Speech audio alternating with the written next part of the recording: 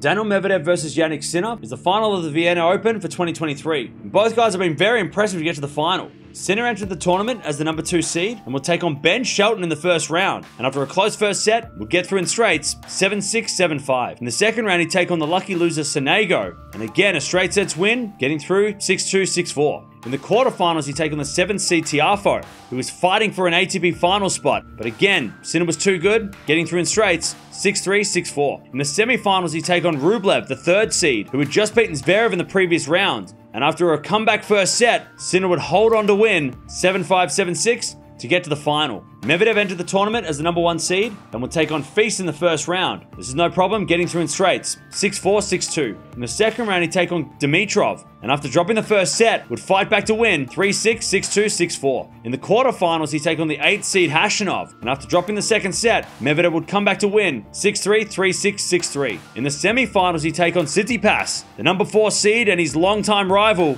and after a close second set, Medvedev would get through in straights 6 4, 7 6 to get to back to back Vienna finals. These two have played seven times before, with Medvedev leading the head to head 6 1. This is actually going to be their fourth final in a row that they're playing. And Sinner did win the last one in a couple of close tiebreaks in Beijing a few weeks ago, so Medvedev will be out here looking for revenge. If Sinner's going to win this one, he needs to use those tactics that got him the win in Beijing. He served really well, but he also came to the net a lot more than we're used to seeing. So he's going to have to do that if he's going to take out Medvedev in this one. If Medvedev's going to win this one, he's going to have to serve really well, and he's going to have to hit those good passing shots that got him the win over Tsitsipas. Tsitsipas was playing really well at the net at the start of the match, but Medvedev started to read the play. He's going to have to do that against Sinner if Sinner brings those same Beijing tactics. What a great matchup. It's so cool to get rematches like this, and the fourth time these guys are playing in a final of a tournament like this. I'm going to go with Medvedev to win this one, though. I reckon he's going to get his revenge. He played really well against Steph, and I think Sinner was a little lucky to get out of that match against Rublev, so I'm going to go with Medi to win this one in three, but